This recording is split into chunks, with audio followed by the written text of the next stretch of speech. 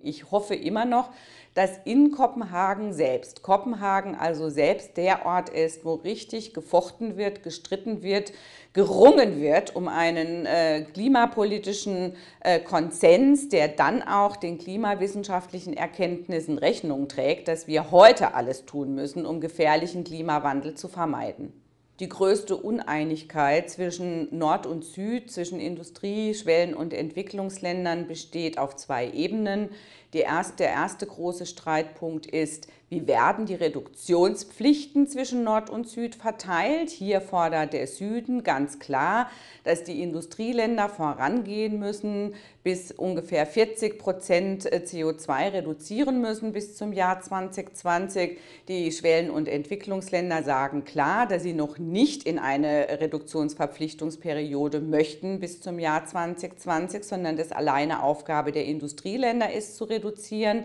Und der zweite große Streitpunkt, fast noch kritischer in den Auseinandersetzungen zwischen Nord und Süd, sind die Geldsummen, die auf den Tisch gelegt werden. Es gibt also handfeste politische Fragen, Streit um die Finanzierung von Klimaschutz, aber auch ganz, ganz viele, den vor allem Entwicklungs- und Schwellenländern sehr wichtige prozedurale Fragen und institutionelle Fragen.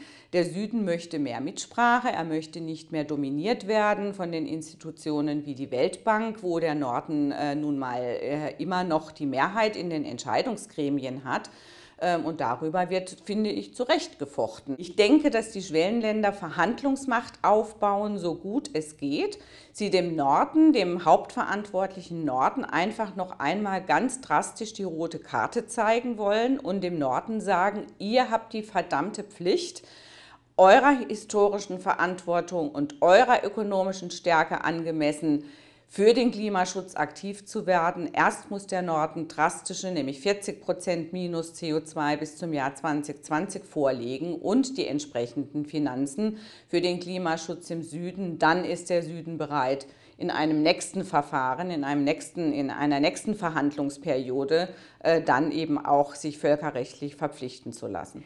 Die Klimaverhandlungen als solches äh, stehen längst dafür, wie zukünftig Industrieländer, Entwicklungs- und Schwellenländer globale Fragen und globale Probleme miteinander bearbeiten. Die Länder wie China, Indien, ähm, Südafrika, Brasilien, ähm, die haben längst einen Machtzuwachs erhalten, den sie jetzt mit neuem politischen Selbstbewusstsein auf der internationalen Bühne einfordern. Sie möchten auf Augenhöhe äh, behandelt werden. Sie haben kein Interesse mehr, äh, außenwirtschaftlichen oder handelspolitischen Diktaten zu folgen, äh, die sie jahrelang in Welthandelsrunden und so weiter zu spüren bekommen haben. Und deswegen ist es so wichtig, auch Vertrauen in diesem Nord-Süd-Verhältnis zu gewinnen, äh, Finanztransfer zu organisieren, damit äh, wirklich die Schwellen- und Entwicklungsländer nicht das Gefühl haben, dass sie aus klimapolitischen und ökologischen Gründen ein weiteres Mal